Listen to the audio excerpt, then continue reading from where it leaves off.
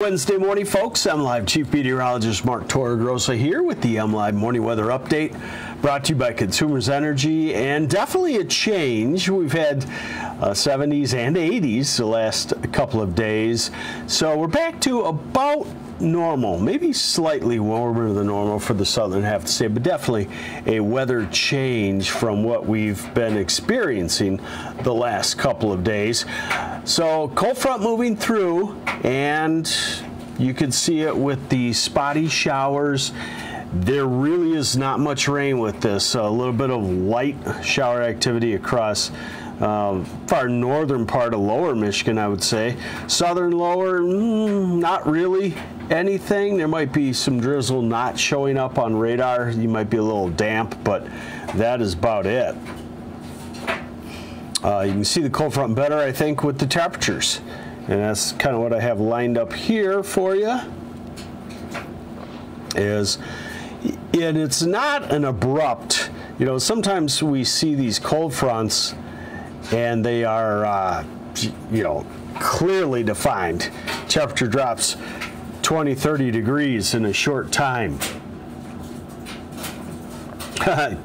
Kimberly Zeismer says every leaf dropped in her yard last night. Yeah, they're falling fast everywhere we notice. So we're still pretty mild for this time of the morning in Detroit and Ann Arbor and Flint and Jackson and Grand Rapids and Saginaw. And uh, even in the north, still pretty mild with the cold front coming through. The wind gust pattern shows you it a little bit better. You can see that wind shift from a southwesterly wind over the thumb, over the Ann Arbor, Detroit area, and far south central lower, and then northwesterly winds from almost Grand Rapids. You're almost in a northwesterly wind, probably in the next hour, and that's the cold front, the sign that the cold front has moved through. And that a cold front means it's the front edge of a new type of air. Uh, we call these things air masses. You know, if you could see the atmosphere, uh, it would look like vinegar and oil dressing with with these blobs of different types of air. We've been in a blob that we would call uh, maritime tropical, off of the ocean tropical. Now we're going into what we call a continental polar air mass coming off of Canada, and it'll cool us down. Uh, but we're still in an overall longer picture, uh, warmer than normal pattern. So let's look at the radar forecast today. It's not a wet day. If if you were hoping for a decent rainfall, you don't get it. And if you're hoping to stay dry today, you probably do get it, other than maybe a, a spritzel here or there. So this is the current radar forecast. We go through uh, the day. And northern half of lower Michigan could have some spotty showers, but now we're into the evening uh, the sunrise side, maybe a, a shower. Hey, Eric, yes, get that garlic planted. I already planted mine. It's up a little bit. I thought maybe I was late. I've gone into September and it seems to work really well. All right, so we're going to call it not rain today. Now let's look into the big picture. Uh, tomorrow, dry. Nice fall day. One or two more days of seeing fall colors widespread. I think you could still find some of the warmer pockets near the water in western and northwestern lower Michigan that would still have color. Old Mission Peninsula.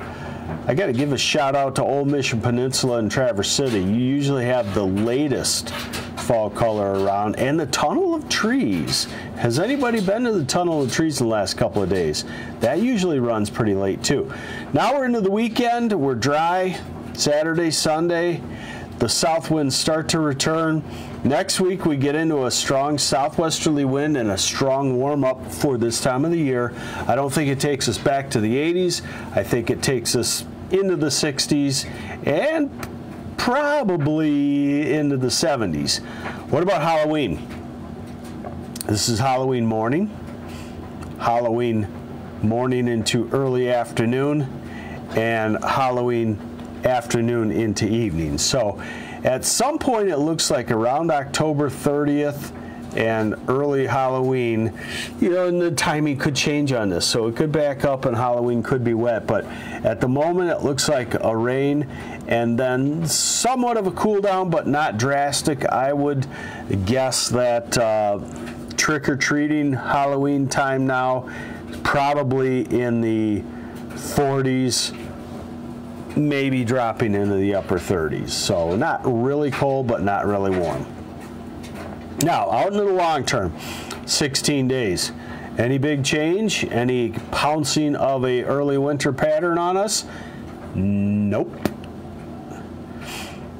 Uh, so this is as we go into the weekend and early next week. I talked about this. The ridge builds over us into the east, and a storm drops into the southwest that may help us start to get some rain in November.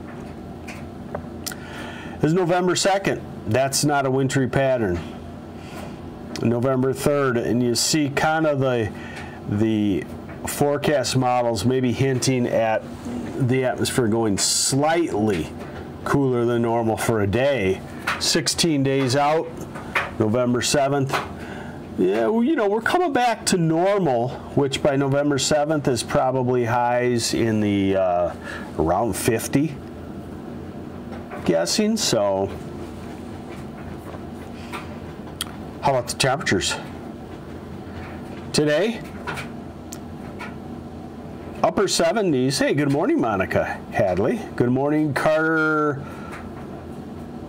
Corneliu from Pontiac. Thanks for catching me live. How's Friday night football? New Lothrop at Ubly, Adam Hunt. Will be nice. It will be cool. Probably in the 30s and 40s. Uh, Carmelita Tiffany, I am feeling somewhat better.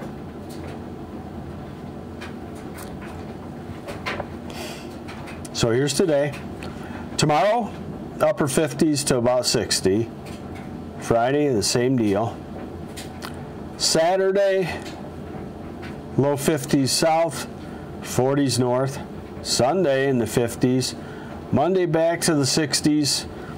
Southwesterly flow for a couple of days could get us into the low 70s both Tuesday and Wednesday ahead of that front that showed the rain on Halloween. This is Halloween. And then the day after. So again, nothing that looks uh, like we're having a big pattern change to much colder than normal. Obviously, we're getting away from the uh, 80 degree temperatures that we've had, so it will feel like a big change. I wanted to show you 6 to 10 day forecast. Yeah, it's warm through November 1st, you know that. And here's the 8 to 14 day through November 5th, and strong chance of warmer than normal conditions over the eastern two thirds of the country, including Michigan, and starting to see that above normal precipitation pattern inch on toward our region. As what looks like is going to happen is we'll probably try to go into a little bit of a southwesterly flow in the first couple of weeks of November and that can bring some very much needed moisture. I feel like I want to make up a t-shirt that says, water your evergreens. That's what I'm doing, things that I've just planted. And I'll tell you what, I laid off for four days and I saw some needles starting to yellow on a, on a Vanderwolf pine. And I was like, whoa. So it can be amazingly drying at this time of the year because you're warm, the humidity is low, so the flow of moisture from a plant out into the air can be a, a lot faster than what you think. Get that hose trickling on your bushes.